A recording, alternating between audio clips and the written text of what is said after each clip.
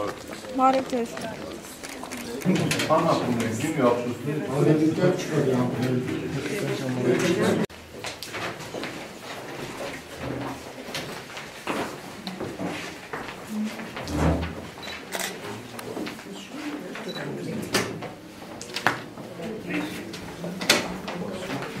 կամ գործող քաղաքապետ Սամվել Դարփինյանն իր մերձավորների հետ փորձում է ուղղորդել քաղաքացիներին, ինչ կարող եք ասել այս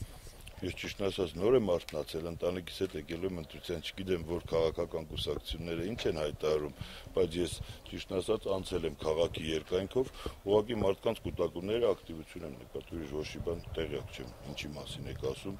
եւ ինչ է նշանակում ուղղորդել ու որտեղ են ուղղորդում ընտրատեղամասերում։ Հա, չգիտեմ, տեղյակ չեմ։ Ինչպես է գնահատում ձեր հնարավորությունները ասել։ Այսօր գնահատելու օրը չէ, այսօր սпасելու օրն է։ Իսկ արդյունքները կլինեն երեկոյան կողմ։ Ո՞վ եք սպասում անհանգստություն կա կամ Չէ, անհանգստությունը զուտ կապված է, որ օրը անցնի խաղաղ,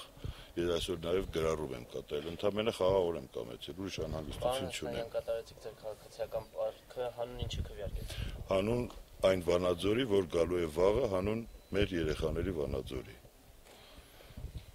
Պարոն Ասլանյան, հետաքրքիր է, ինչ չի արել նախորդ քաղաքապետը, որ դուք գալու եք եւ կյանքի Ճիշտ ասած, ես այսօր քաղաքական մեկնաբանություններ տալու, իհարկե ցանկացած նախորդ կիսատ թողած կամ չարած գործեր ունի, իսկ ցանկացած հաջորդ պարտավոր է որակական նոր աստիճանի լինել, ընդհանրապես եւ գործելավոճով, եւ ծրագրերով, հետեւաբար կյանքը զարգացման մեջ է, որ գեղեցիկ է, իսկ թե ինչ ունի կամ արած կամ չարած, այսօր դրա մեկնաբանության օրը չի։ Պարոն Ասլանյան, հաշվի առնելով կներեք, հաշվի առնելով, որ Վանաձորում միշտ չէ հանրապետականը մտահոգություն ունեք, որ հնարավոր է ձեր տեղեկությունները սխալ են, հանրապետականը կամ հաղթանակ է տանում կամ չէ, այսօր ես առաջադրվել եմ, որպիսի վաղվա Վանաձորը կարողանանք միասին միահամուռ ուժերով կառուցենք։ Այսօր Վանաձորը ընտրում է ոչ թե կուսակցապետ, այլ Վանաձորը ընտրում է քաղաքապետ, եւ այդ քաղաքապետը լինելու է ոչ միայն մի կուսակցության, այլ բոլոր վանաձորցիների քաղաքապետը։ Պարոն Ասլանյան, դուք բոլոր տեղամասերում վստահված անձինք երևի թե կունենաք նրանք ինչ առաջադրանք են ստացել հետևելու են, որ ընտրությունները այսպես օրինական ընթացք Ես նույնիսկ իմ բակային հանդիպումների ժամանակ իմացել, որ այս ընտրությունները ես եմ հանրապետական կուսակցություն այսօր ներկայացնում, այս ընտրությունները անց են կացվելու թափանցիկ, մրցակցային եւ արդար արտարության սկզբունքով եւ այն նախապես հնչած կեղծ հերյուրանքները այսօր չեն տեղ չեն գտնելու այս ընտրությունների մեջ։ Պարոն Աստրյան, եթե ընտրախախտում գտնենք օրվա ընթացքում դիմենք ձեզ։ Ինչի՞ ես դիմեք իրավապահ մարմիններին, դիմեք ես երկիրը ու իրավապահ համակարգունի ինձ ինչի դիմեք։